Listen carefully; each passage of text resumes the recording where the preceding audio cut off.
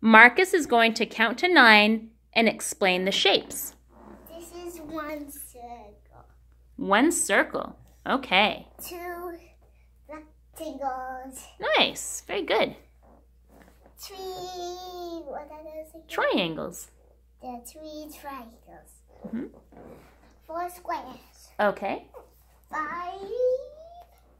Pentagons. Five pentagons. Penta means five.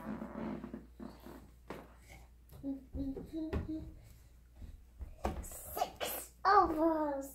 Seven diamonds. You're saying ellipses, but yeah, those are ovals. Seven diamonds? Se- uh, seven diamonds. Eight. Then there's a Octagons. Eight octagons. Okay. Nine.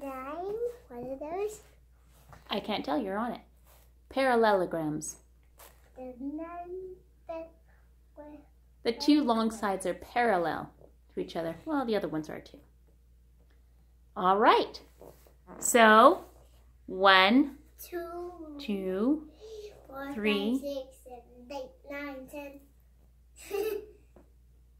six, six, seven, eight, nine, nine, nine, nine, and now ten.